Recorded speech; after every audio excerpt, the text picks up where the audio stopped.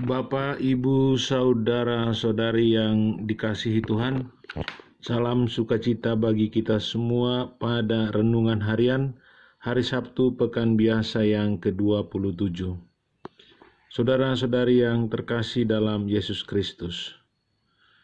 Bertepatan dengan hari Tuhan, Allah akan mengadili bangsa-bangsa Pengadilan ini terjadi karena tindakan bangsa-bangsa ini kepada bangsa Israel. Israel dicerai-beraikan dalam pembuangan oleh Asyur dan Babel. Israel diserbu dan diduduki secara langsung. Bangsa pilihan Allah ini dihinakan dan menjadi bahan undian para penjajah. Penghakiman yang dilakukan Allah terhadap bangsa-bangsa yang menindas Israel terjadi karena kehendak Allah yang melawan setiap kejahatan.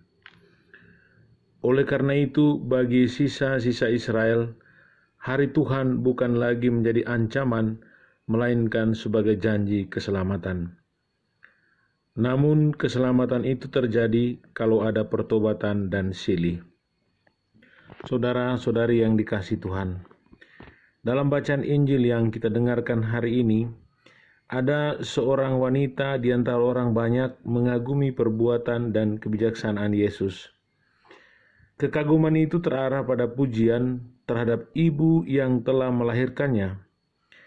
Namun, Yesus mengarahkan kekaguman wanita itu kepada hal yang lebih mendalam, lebih utama, yaitu mendengarkan dan melaksanakan sabda Allah.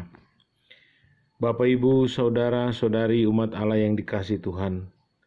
Dari bacaan-bacaan suci hari ini kita diajak untuk merenungkan dua poin penting. Pertama, marilah kita membangun pertobatan yang mendalam agar kita dapat memperoleh keselamatan dari Allah.